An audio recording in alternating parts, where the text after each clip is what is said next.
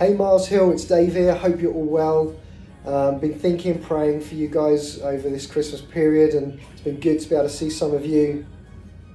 I just wanted to give a just a short message. It's the end of a year. I can't believe that 2020 has already gone. We're here on New Year's Eve. I just want to spend some time encouraging us as we look forward to 2021.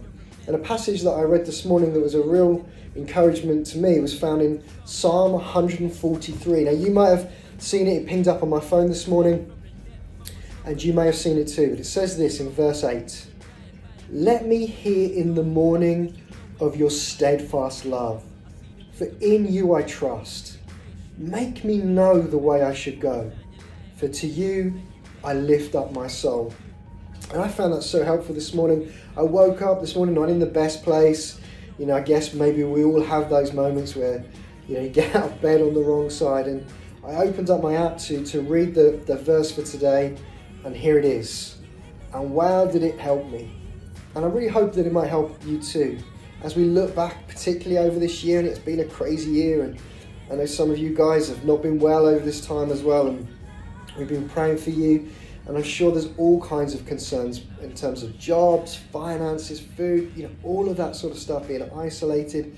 And so just let's just break this down for a moment as an encouragement. Verse 8 says, Let me hear in the morning of your steadfast love, right at the beginning of the day. And I, I needed that this morning to remind, be reminded that God is love. It's not just an emotion, it's not just a feeling, it's the very nature of God, of who God is. God is love, the Bible tells us. And right from the beginning, right from the start of our day, sometimes we just need to be reminded of that. That He is love and that everything that He does is good. And it doesn't matter what we see going on around us, it doesn't matter how bad it is, how difficult it is. You know, sometimes I've had it where something breaks down and it all goes wrong, and I sometimes go, God, why is it all going wrong? And yet it still doesn't change the fact that God is love. The psalmist goes on to say, Because of your steadfast love, for in you I will trust. Because that uh, God is love, we can totally trust in Him. And we've certainly seen that as we've gone through the book of Genesis. That all through the ups and downs of all the different characters in Genesis, we've seen God's faithfulness and His love. It doesn't matter how bleak it's looked, God is still faithful. And therefore, we can put our faith, our trust, firmly in who God is. And here again, the psalmist reminds us doesn't matter how good your day is, whether you've woken up in a good place or a bad place, God is love, and because of his love, we can trust him. And lastly, he goes, Make me know the way I should go, for to you I lift up my soul. You know, he's, saying, I, lift up all that I am, my, my entire being to you. I, I, want it to be a place of praise and worship. Why? Because you're love. And because you are love, I can trust you. And because I can trust you, I can understand. I can I can believe. I can ask for your will, for your plans on my life, and I can walk in them knowing they are the best. What an encouragement as we look back over a crazy 2020, we look into 2021 with so much uncertainty, to be reminded God is love. Because of his love, I can trust. And because I can trust him, I can ask him whatever it is that I need to. And if I walk in obedience to Him, that is the best place I can be. You know, and for many of us, we try and run around and we try and sort things out, and we think, you know, to control, to be in charge, to have things sorted, that's the safest place, or to avoid, you know, conflict or to avoid dangerous situations. That's the safest place to be, but that's not what it says. The safest place for us to be is in the will of God. And as we press on to 2021, as we seek God over this year, let's ask Him what He's saying and let's be willing to be obedient to regardless of what it looks like. I remember listening to a missionary who once said that the safest place to be was in God's will. So that doesn't matter if you're in a persecuted country where you would be killed for your faith, that is still the safest place to be. And what it does is it changes our perspective on life changes our perspective. Rather than us thinking this life is all that it is and I have to protect and consolidate, we realize that this life is nothing compared to eternity. And what God wants to do through us in bringing His kingdom of love to other people, of healing to other people, of salvation to other people, It means that we have to be willing to be obedient to Him, whatever the cost. Which is why Paul tells us that to live is Christ, to die is gain. To, to live my whole life for Jesus Christ is the greatest gain I can have, regardless of what hardships it brings me into. And if even in the process of that I die, it's still gain. Being a Christian and walking in the will of God is the safest and best place we can ever be. It is always a win win situation when our minds are eternally minded. So if we live on this earth and we live for Jesus and other people get impacted by his love and find him and get saved, awesome. If we die in the process, we get to be with him, awesome. We cannot lose out. The only way we can lose out is if we step outside of his will. If we decide, okay, look, I, I just want to hide myself. I want to be I want to protect myself. I want to look after myself. I want to make decisions on what I think is best. That, that's the way we're going to miss out on God's will for us.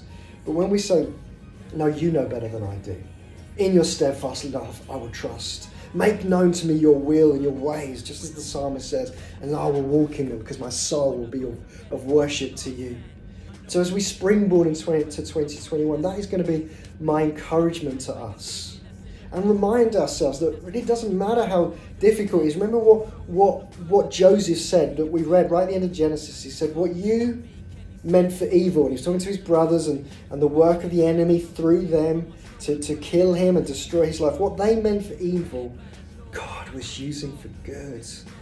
And, and so, even as the evil of this virus continues to spread, God still wants to use it for good. And my question to us as a church is what is going to be our response? are we seeking God for His will or are we making decisions based on what we think is best? As we go into 2021, we really need to hear God's heart because, as Joseph reminds us, evil may come our way. You know, we could get sick, we could contract the disease, all of these kinds of stuff, and yet God still wants to use these things for good. God is sovereign, God is in control, God is good. We can totally trust Him. And so the only question is, God, what are you saying? And, the, and then the answer to that is, will we be obedient to what He asks? So, so as, as we move forward into 2021, and whatever views you have on everything that's going on in the moment, may I encourage you to seek Him. So, what we're going to do, you'll see in your emails, is we've put together a reading plan, and you may have seen that in your meditation today. Um, we, rather than us doing meditations for you now, we want us as a church to be reading together. So we've put together a reading plan. You've got the whole of January to get you started. It's going to go alongside the new series that we're running called Simply Church. And we're going to be looking at what does it actually mean to be church. And I really encourage you to tune into that. Come along on a Sunday if you can. Sundays are still open and running. It, come along on a Sunday if you can. Or if you can't, you know, Zoom it in or Facebook it in so it's live streamed, isn't it? Make sure you're connecting with your Connect groups because we're going to be discussing what does it actually mean to be church today are we actually putting into practice the things I'm encouraging us with? Are we really trusting in God's love and faithfulness and goodness? And so we're going to be doing this series called Simply Church, and the meditation, uh, not the meditation, the reading plan that we've put together will go alongside that. And so what that means is there'll be some passages that you can read each day. You can then spend some time thinking about it, like, like it says in, in the Gospels, how how Mary pondered on what the angel had said. Let's ponder on, meditate on the Word of God ourselves, journal things down that the Holy Spirit reveals, and start to allow that to feed you and become an overflow in your life so that when you bump into somebody within the church, we can still meet up for one to ones, even in tier three. and you're, you're going for you can talk about these passages, you can ask questions about these passages. When we come to Connect Group or meet on a Sunday, and I go through this teaching series, we can all be reading and growing and building and encouraging one another up. So look out for that. It will start tomorrow. A new reading plan to go alongside our new series called Simply Church.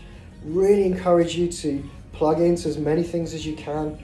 Allow the Holy Spirit to encourage you, to build you up, to direct you, to speak to you. Don't let other people's circumstances or fear dictate to you or speak to you. Don't allow them to cause you to read into your own thoughts or fears into the Word of God, but allow the Holy Spirit to speak to you uh, out of what He has to say, out of that, that perfect love that drives out fear. And then use that to encourage one another, build one another up. Because I do believe, like the Bible says, that the fields are white for harvest. They're more white than they've ever been. People are ready to hear the gospel, and, they, uh, uh, and people are. The Holy Spirit is looking for willing people in which He can bring that gospel to others. So as we stir one another up, as we get built up in Jesus, He will send us out to bring others back into the fold. So let me finish once again with this passage as an encouragement to you as we end 2020 and as we look into 2021. Let us be reminded of this Psalm 143, verse 8. Let me hear in the morning of your steadfast love, for in you I trust. Make me know the way I should go, for to you I lift up my soul.